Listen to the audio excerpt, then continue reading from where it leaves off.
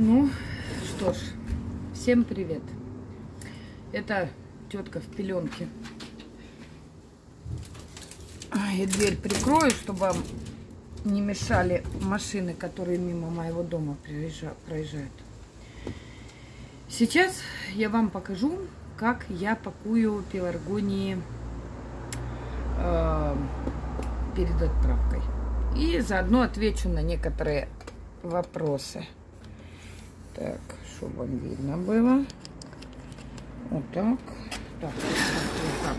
Ну окей, вот так, так, вот так. Значит, для упаковки я использую скотч. Вот. Я не буду упаковать всю посылку при вас, потому что это долго. Вот. Ну, покажу просто вот на примере. Это у меня заказ. Это женщина с Крыма заказала. С Бахтисарая. Привет. Значит, э, что значит я делаю? Вот, допустим, завтра мне отправлять посылки. Сегодня, именно сегодня, не завтра, не послезавтра, не там какой-то там другой день я их пакую, но пакую как? Я пакую верхушку, я, грубо говоря, их закрепляю в стаканах. Я могу, если завтра мне отправлять, э, сделать тубусы и даже их уже зарядить в эти тубусы. То есть замотать в тубус из картона. Примерить их в коробку и поставить их либо в коробке, чтобы они стояли, солнышко видели, либо их э, поставить в коробку, ну, рядом, либо, короче, либо в коробку, либо рядом с ней, но в любом случае так, чтобы они еще денек видели солнышко. Если честно, этих отправок я их как огня боюсь. Вот. Вы знаете, несколько дней я пыталась снять видео. У меня, если честно, на данный момент вообще совершенно на это нету времени, нету возможностей. Вот. Почему? Потому что сейчас у меня идет подготовка, если, как говорится, Бог даст, все хорошо будет – то завтра у меня приедет мастер и будет делать тут отопление. Вот. Я не знаю, я, наверное, уже миллион раз говорила. Я еще миллион раз готова повторить. Ребята, дорогие, не бойтесь отсыхающих листьев. Не бойтесь.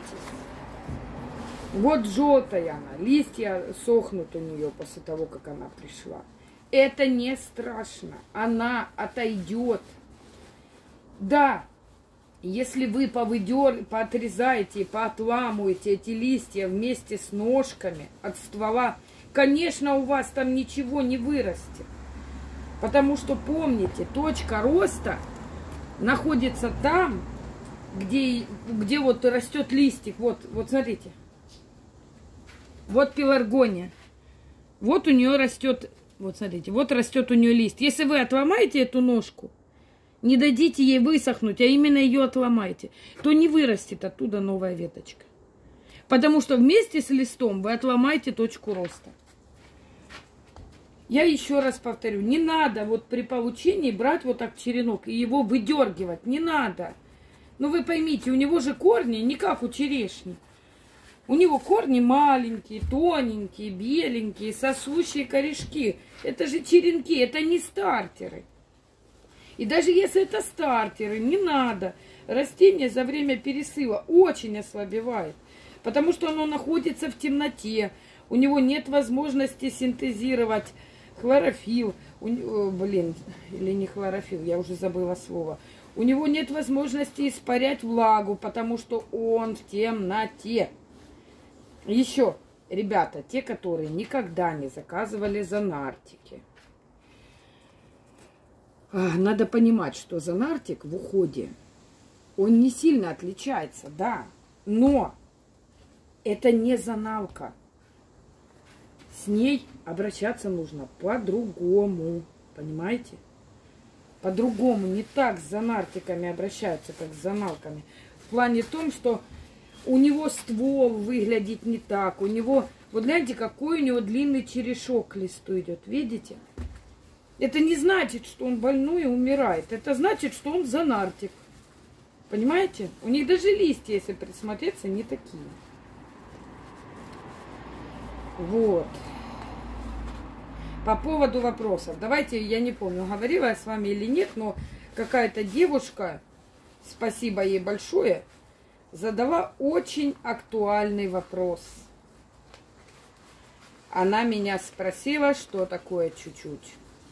И она не просто спросила, она мне так написала, как я люблю. Типа, все, напросилась. Отвечаю, что такое чуть-чуть. Вот смотрите, в свое время я бы, наверное, ногу отдала за то, чтобы мне кто-то рассказал, что такое чуть-чуть. Какое чуть-чуть я имею в виду? Вот когда покупаешь пеларгонию, очень часто, любое растение, не только пеларгонию, и очень часто говорят, поливайте по чуть-чуть. Начинаешь спрашивать, а чуть-чуть это сколько? А они тебе говорят, ну по чуть-чуть. Ну, чуть-чуть, немного. При этом люди совершенно не понимают, что чуть-чуть у всех разное. Вот у меня, допустим, раньше на литровый стак... горшок 300 грамм мне казалось, что это чуть-чуть, понимаете? Чуть-чуть. Но нет, это не чуть-чуть, это много. И до этого я доходила сама опытным путем. Вот. А так как вы тоже, я так понимаю, не понимаете, что такое чуть-чуть, то я вам объясняю, что такое чуть-чуть. Значит, количество полива водички, которую вы даете, зависит от двух факторов. Первое, это насколько много листьев у вашего растения. То есть вы должны понимать, что если у вас растение стрессует, если оно скинуло листья, если оно у вас после пересыла желтое, то помните, поливать надо, как я иногда говорю, с ложки. Почему с ложки? А потому что если у растения листья не работают, они не, не испаряют влагу, то залить его крайне легко. А пеларгония залив категорически не переносит, понимаете? Поэтому с. Вот. Как еще показать, я не знаю. Теперь давайте вот другого. Давайте вот этого возьмем. Давайте. Тоже запаком покажу. Значит, если у вас растение вот хотя бы с вот таким количеством листьев, тут 4 листа, как надо поливать? Я всегда исхожу вот из какой формулы. Для меня чуть-чуть это, я до этого повторюсь, опытным путем сама доходила. 5% от объема горшка. Вывод. Вот у этой мадам мало листьевой. Она в 300-граммовом горшке, хотя ее можно пересаживать. Вот она пару листьев еще выгонит, и новая мама. Пересаживайте спокойно, не парьтесь. Вот. Значит, что вы делаете? У нее 300 грамм горшочек, да? Ее чуть-чуть это 15 миллилитров. Грубо говоря. Но опять же таки, эти, эти 15 миллилитров могут быть через каждые два дня, то и день, если она у вас э, стоит в сухом таком жарком месте. Хотя они не очень любят жаркие места. Вернее, не любят. И у вас э, это может быть раз в неделю, если она стоит в неотапливаемой теплице при плюс 5, плюс 10. Понимаете? От этого тоже это зависит. Вот у меня сейчас, вот буквально отправлять, у меня вот два дня перед этим у нас была прохладнее, у меня была истерика, потому что Я вот смотрю, и мне кажется, что он мокрый, наглухо мокрый. Как отправлять? А потом сын у меня взял, перевернул один, и оказалось, что грунт влажный, но никак не мокрый. Он, короче, можно отправлять. Вот, заклеила его. Видите? Не вываливается. Так, давайте еще кого-нибудь. Вот ее. Вот что значит это чуть-чуть. Чем у тебя больше листьев, тем больше у тебя расход воды. То есть, если у тебя 4 листа, то это 15 миллилитров. Если у тебя с 4 выросло уже 8, то можешь ее пересаживать в больший объем. Кстати, я, допустим, не пересаживаю, э, как это правильно назвать, Короче, вот есть люди, которые говорят там, ты вот получил там в 300 граммовом стакане пеларгонию, пересади эту пеларгонию в начале там, допустим, в пол-литра. Потом пересади ее в литр там или 0,7. Нет, я так не делаю. Я, во-первых, смотрю на то, какой у меня сорт. Дело в том, что Понимаете, есть такие вот сорта, которые очень активно и очень быстро растут. Прям вот на глазах чух и здоровенный. А есть сорта, которые ползут медленно, как черепахи. И вот исходя из этого я и наблюдаю, понимаете? Я не делаю все по шаблону. И поверьте, с пеларгонией у вас не получится все делать по, по, по шаблону. И вообще с любым растением у вас не получится. Потому что один, допустим, посильней череночек, покрепче как-то, он вот сам по себе такой быстренький. Другой медленный. Понимаете? Поэтому нельзя действовать по шаблону. Одному, допустим, достаточно там, я не знаю, неделю для того, чтобы вырастить три новых листа, выгнать. А другому надо не неделю, а надо все, простите, две недели. А они будут одного сорта, понимаете? Это такой тонкий момент. Так. Так, это у нас кто это? Это Леона Галактика. На две точки роста девушка.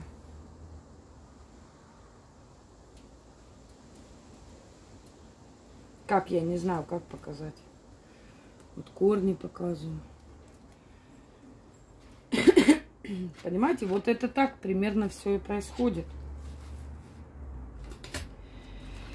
Если вы получили, вообще неважно от кого посылку, если вы будете вот так вот, вот смотреть, ага, она что-то какая-то, она слабенькая, вот так брать растение, вот так его дергать, проверять, есть у него корни или нет, то даже если у него они есть, их не станет. Ну, не станет их, понимаете? Потому что корни у пеларгонии на канат не похожи. Вообще. У пеларгонии хрупкая корневая система, когда она молоденькая.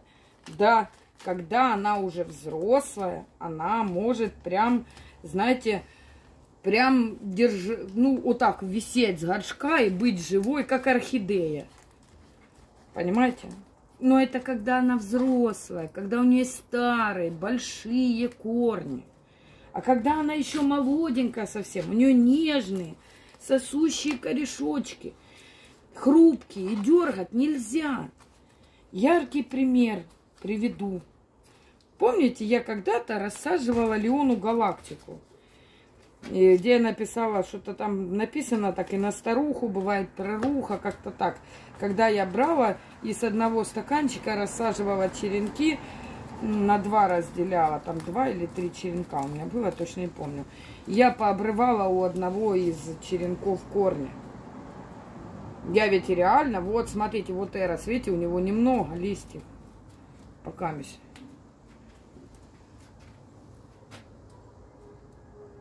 Видите?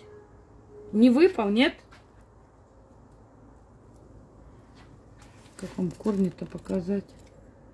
Видите? так как он подсушенный, когда вы пеларгонии подсушиваете, они, корни становятся такие практически прозрачные.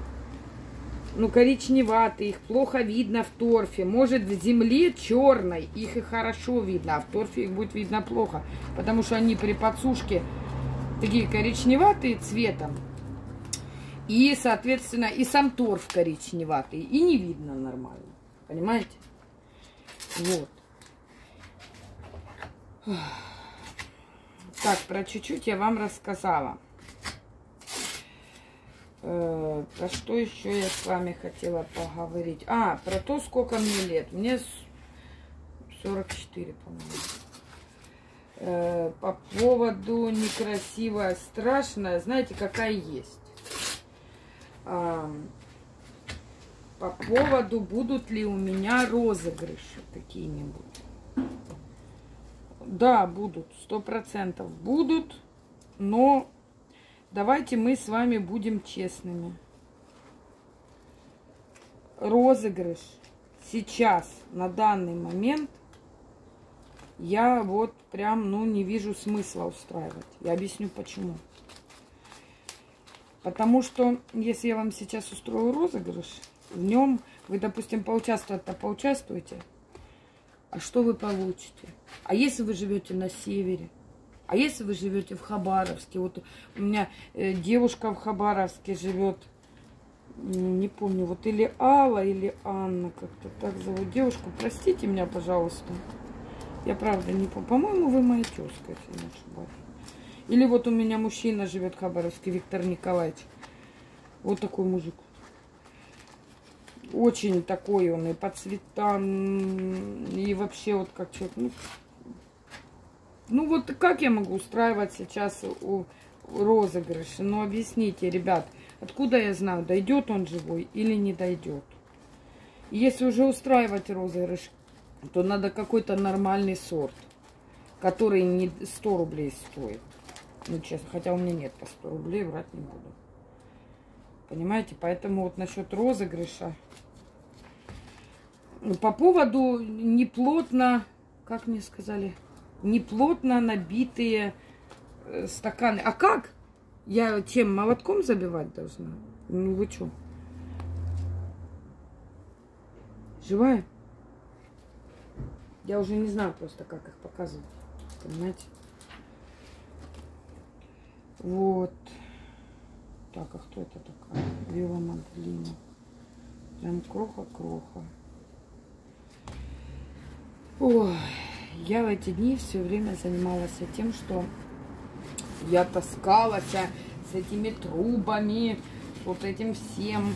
Вчера хотела выйти, у меня совершенно не было времени вчера выходить э, к вам что-нибудь записывать. Во-первых, я ездили мы в Краснодар, я покупала батареи, батареи нашла люди какие-то квартиру купили, они теплый пол себе там во всей квартире сделали, а батареи от застройщика сразу поснимали. И, короче, я у него их купила. Муж тут мне рычит, вот, ты сейчас возьмешь эти батареи, поприцепишь. А эти батареи, короче, они тяжелые, они нам теплицу согнут. Ну, короче, у меня муж, знаете, он у меня такой товарищ. Как вам объяснить? Ничего не хочет делать. Ничего. Прям вот до скандала. Вот. Как я рада, ребят, что я наконец-то нашла человека. Я прям, знаете, я очень переживаю, что не дай бог он в последний момент откажется. Правда. Вот если он откажется, это будет капец. Потому что я уже и купила все. Купила два насоса один для дома, для циркуляции, второй для теплицы, циркуляционный насос. Вот, купила, скажите, как это называется, забыла слово. А, батареи, радиаторы купила. Купила всякие там сгоны, перегоны. Я же в этом понимаю, как козел в апельсинах, понимаете? Вот. Короче, мне для того, чтобы сделать тут систему отопления, э, осталось две вещи сделать. первое это сделать, ну, все сварить, конечно, собрать до кучи. Специалист мне этот нужен для этого. И второе, мне нужен... Так. Где? Вот. Видно корни? Вот. И второе, мне нужен как это слово называется, я опять забыла. Вот вы представляете, вот это же уже вот стоит не начать нервничать, все, все забыла. Гинка беловная. А, и пластиковые там трубы еще надо будет докупить для самой теплицы. Я уже жду, когда мы все это сделаем. Для того, чтобы я могла тут навести уже все порядок, порасставлять. У меня пока есть плюс, но этот плюс вот-вот рухнет. Э, по поводу Мавента, еще раз говорю, не вздумайте травить им пеларгонию. Вы останетесь без листьев, без точек роста. Сгорит все. Вот.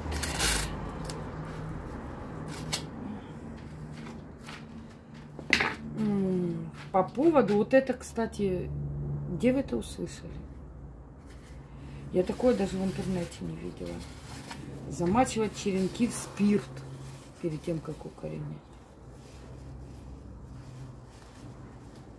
В смысле? Я... Ребят, я не знаю, я такое первой жизни слышу. Вот. Ой.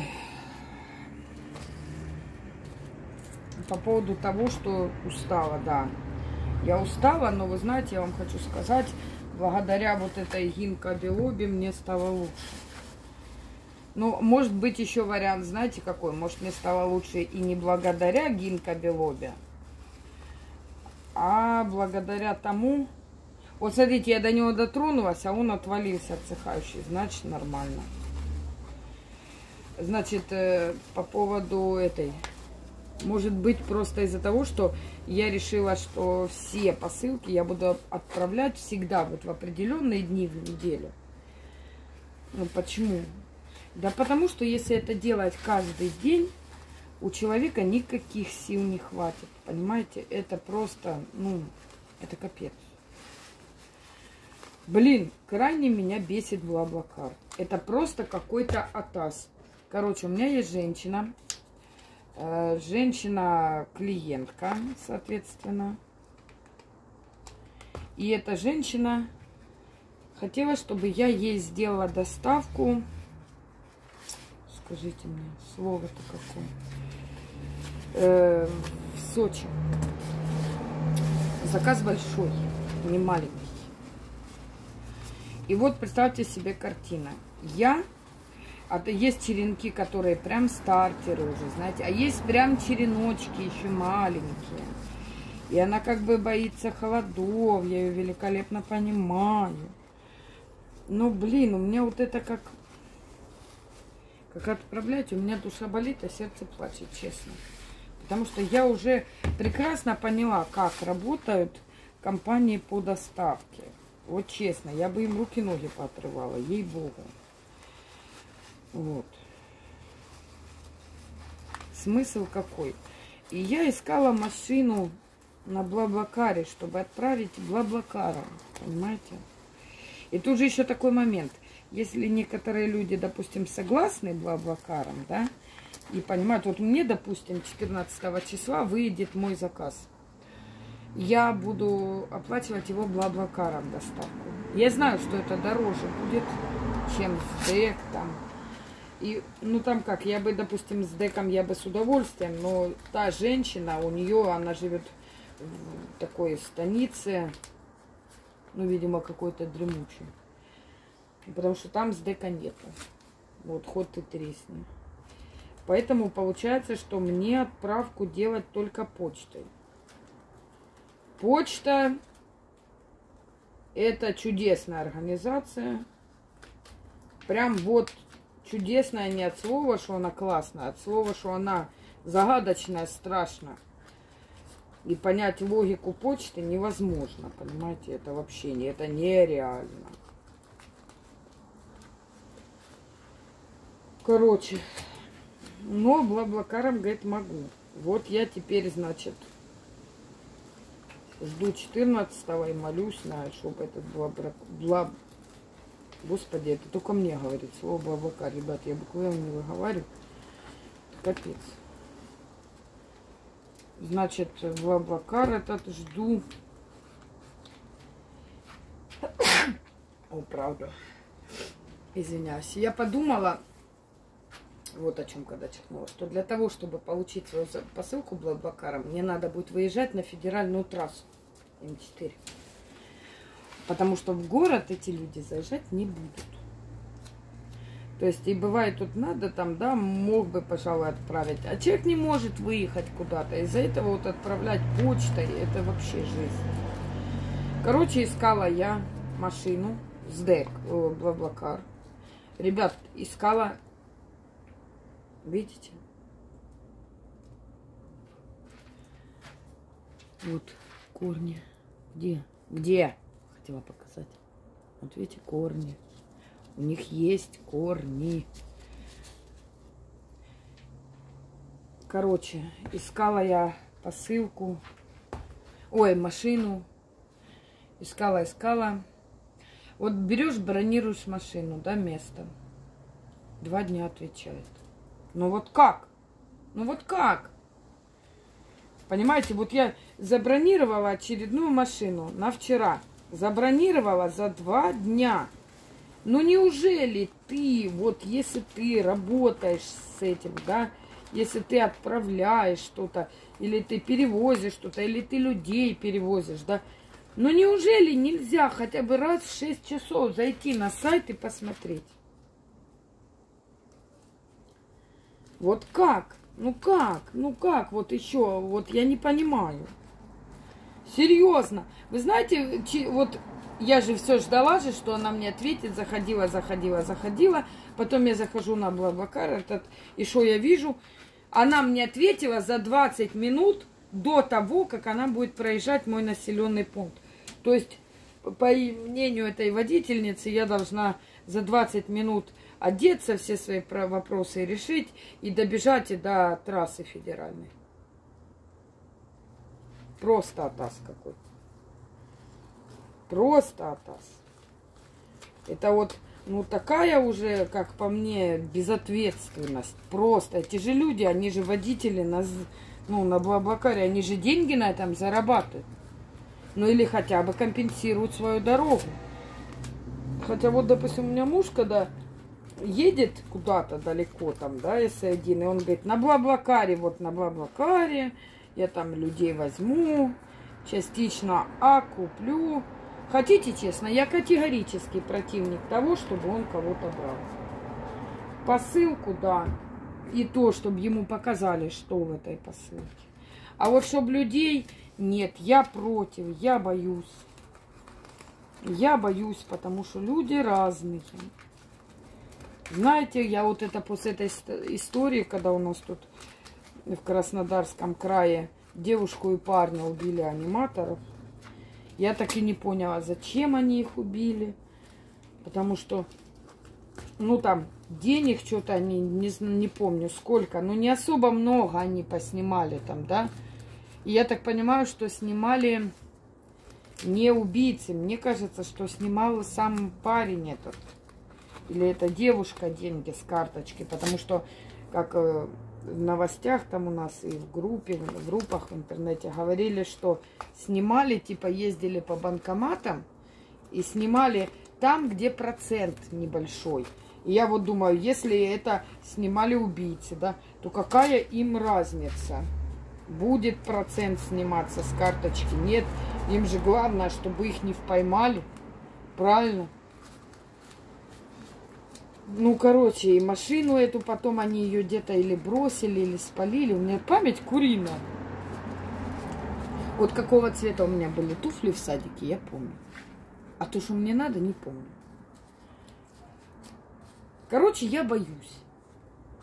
У нас машина ну, не, не сказать, чтобы прям дорогая, ну, там, которая, там, знаете, есть машины по 5 миллионов. Нет, но она тоже и не 200 рублей стоит, ребят. И мы такую машину купить, вот у меня сейчас муж говорит, надо, он давно мне уже говорит, что мне надо машину, ну, для меня лично. Я раньше не соглашалась, а сейчас вот я такая подумала, что да, наверное, мне реально нужна машина. Почему? Потому что, вот, допустим, если взять с ребенком в реабилитационный центр ездить, это нереально. Представьте себе, что мне заявляют. Я просто вызываю такси меньше, чем полтора километра ехать. 674 рубля в один день. 200, от, от 250 до 350 обычная цена за полтора километра. Представляете? А один день вообще 674. У меня глаза на лоб вылезли. Я позвонила мужу, сказала, все, я готова к машине.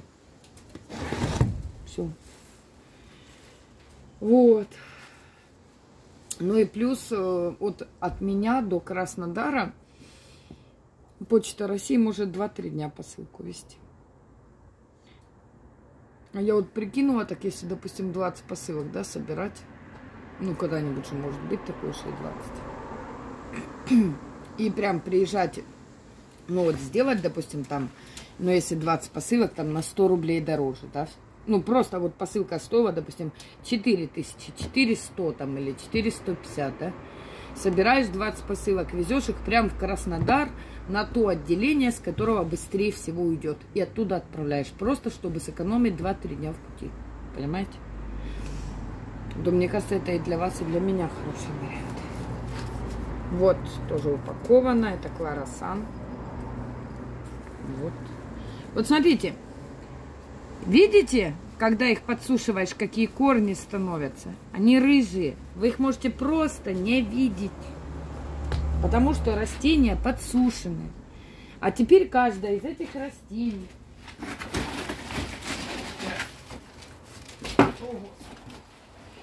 у меня пришел картон, но вы знаете, я этот картон пока не трогала, потому что я понимаю, что стоит мне сейчас распаковать. Но зачем он, если у меня сейчас есть еще вот этот правильно? Это вот холодильник мы покупали.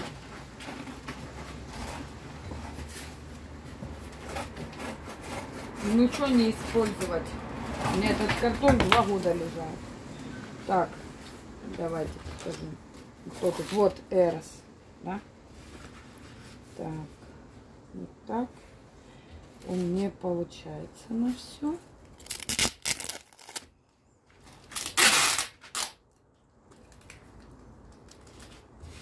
Вот, кстати, вы знаете, я не очень люблю простых. Я не очень люблю полумахровых там да, я знаю, я заелась. Но Эрос мне очень нравится. Во-первых, у него такой шикарный, красивый цвет. Вот. Во-вторых, он, у него хороший характер. А хороший характер это для Занартика прям вау-вау. Понимаете? Значит, вот. Значит, ножницы покупала для шитья, а в результате использую для упаковки посылок.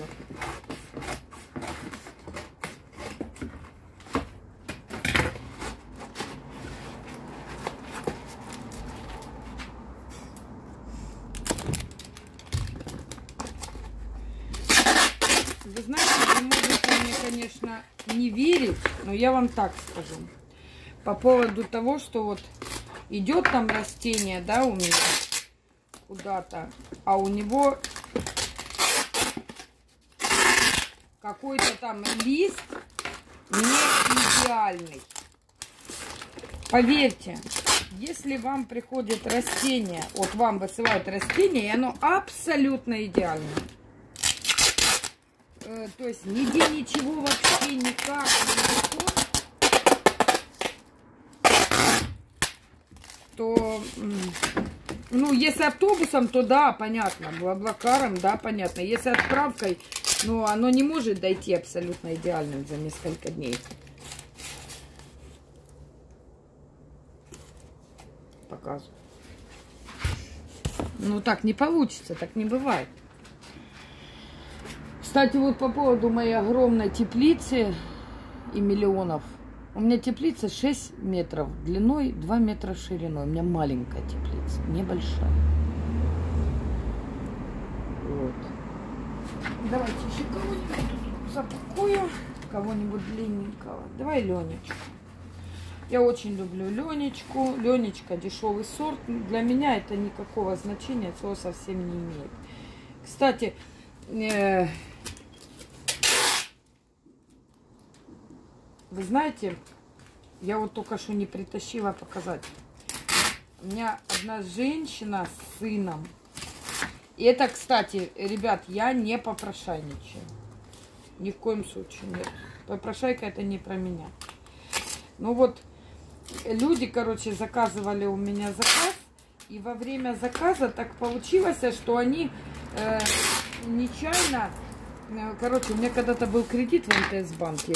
И эти люди, они нечаянно, получается, каким-то образом у них на этот счет на МТС-банк ушли деньги. Вот. Ну, а я же говорю, я же такой банкир, знаете, неопытный. Я говорю, ребят, у меня был кредит, но я его уже закрыла, я им там скриншот и все. У меня нет счета в МТС-банке. Короче, я скрины им привожила, все дела.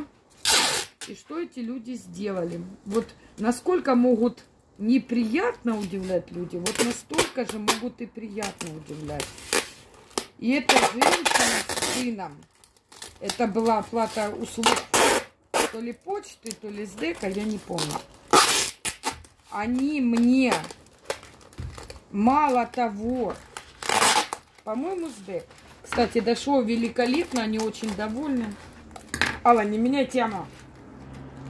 Они мне, мало того, что они мне перевели на Сбербанк, так они, оплату пересылки, так они еще и узнали, оказывается, если у тебя есть кредит, ты его выплатил, то счет все равно остается, и деньги эти там как-то есть. А я говорю, господи, да как же я их выводить-то буду? Я же у нас даже банка этого нету, и вообще не знаю, где он есть. Ну, я занервничала, потому что там что-то Э, по-моему, что-то около тысячи пересыл этот. Но это деньги, ребята, это деньги. Вот полторы тысячи это занятие моего ребенка. Если еще добавить туда дорогу туда-назад, то это выйдет где-то две с половиной. Вот так. Каждое занятие его. Потому что вынуждены возить в Краснодар. У нас нету тут рядом хороших таких специалистов. А они мне говорят, она мне говорит, не надо деньги мне возвращать. С сыном мы поговорили, сын сказал, пусть это будет на какой-нибудь подарок для ее ребенка. И вы знаете, я так растерялась, я не знала даже, что и сказать. И я вот это как дурко, ну, короче. Оля, спасибо большое. Вот, спасибо, правда. И, ребята, повторюсь, я говорю этой женщине спасибо, потому что я удивлена, понимаете? Вот, я удивлена, когда мне люди там, э, ну, там что-то оплачивают, они там берут и чуть-чуть больше ложат и говорят, это малому на шоколадку там. Я удивлена, потому что это чужие люди, и они, ну, как-то думают о моем ребенке, это крайне приятно. Я очень благодарна. Вот, ребят, смотрите, вот этот упакованный. Вот, особенно за нартики, вот так стараюсь еще проходить. Хотя, я вам так скажу, можно паковать, пока ухи не посинеют. Но если Почта России или СДЭК решили, что сыграть бейсбол вашей посылкой самое оно, то хоть ты тресни, ничего не поможет. Как-то так, ребят. Так, я еще хочу вам, знаете, что снять? Я хочу пересадить в больший объем своих недавних ребят, друзей. Всех целую, обнимаю. Пишите, пишите мне. Пишите, давайте новые темы, драконьте меня, скоро все расставим. И, наконец-то, начнутся у нас обзоры. Вот, еще раз повторюсь, пожалуйста, те, кто умеют хорошо обращаться с занартиками, у которых вредный характер. Ну, я знаю же, что вы меня смотрите. Ну, напишите, пожалуйста, как вы это делаете. Но вы же смотрите меня, смотрите. И когда вам надо, вы пишете. А когда вас о чем-то просишь, вы не пишете. Так некрасиво. Что, только поругаться можем написать? Тот, кому я это написала, он понял. Он может не писать в комментариях, он может написать мне на WhatsApp. Я буду очень благодарна. До свидания, ребят. Всем пока.